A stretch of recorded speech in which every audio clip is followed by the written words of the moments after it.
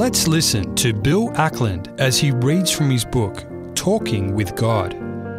The prayer we have today has a brief title, one word, Blessings. And the text I have to match with this prayer is from James 1:17. Everything good and perfect is a gift from heaven and comes to us from the Father in his glorious light, who does not change by the smallest degree. And then an introductory thought. As humans, we like to be well thought of, to receive tokens of the love and regard that others have for us. Thoughtfully wrapped parcels at those special times throughout the year tell us we are not forgotten. But the gifts God gives us are often so large they cannot be wrapped up in pretty paper. Rainbows, sunrises, and sunsets, acres of tulips and carpets of daffodils. Let us show our gratitude to God, whose gifts are the best of all.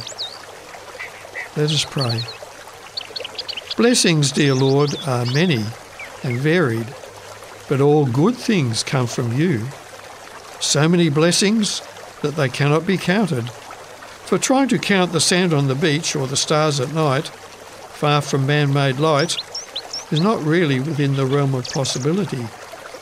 The wonderful thing is that so many of your blessings are given without partiality. The sun and rain are enjoyed by the just and unjust alike. The limitless shades of flower colours are admired by the bad as well as the good. In so many other ways, your love to all is revealed in the scattering of your gifts we call blessings. However, dear Father, life is so much more than things or objects, than what we can touch, see, feel, hear, taste, or smell. Life is lived in heart and mind and spirit. The brain, that greatest of all computers, is always busy, busy, busy, registering, storing, analysing, evaluating, and deciding. And most of this happens without any conscious effort on our part.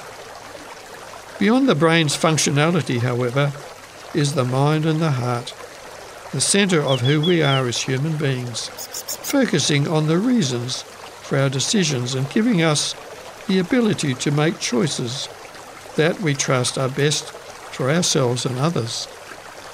So, dear Lord, blessings that touch our senses are wonderful, enjoyable, and tend to happiness. Blessings of the spirit of our inner self are what give real meaning, fulfillment, and joy.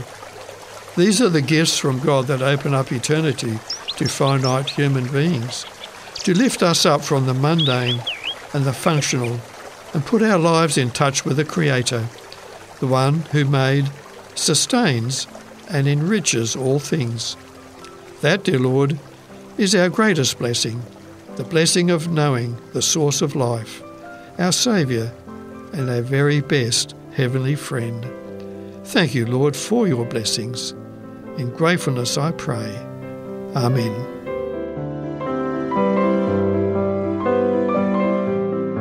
To obtain your copy of Talking with God, written by Bill Ackland, give us a call in Australia on 02 4973 3456 or send an email to radio at 3abnaustralia.org.au.